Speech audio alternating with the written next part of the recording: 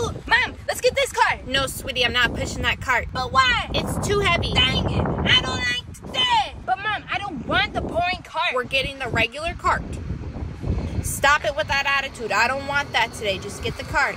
Ooh, Mom, look, I can ride underneath here. It'll be so fun. Sweetie, what are you doing right now? You are embarrassing Please, me. Please, Mom. No, you can't ride underneath the cart. But why? You're gonna get us kicked out of the store. Mom, this is actually convenient to you because I won't be touching anything. I don't care. Get up right now. Never want to have no funs.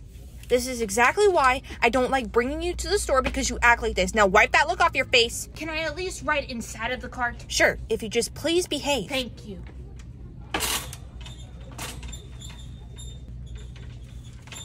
Mom, look, I'm surfing. Why are you standing in the cart right now? That is so dangerous. Mom, I'm not gonna fall. I don't care. You know what? You just lost your privileges of riding in the cart. Get out. What? And don't even think about asking for McDonald's on the way home.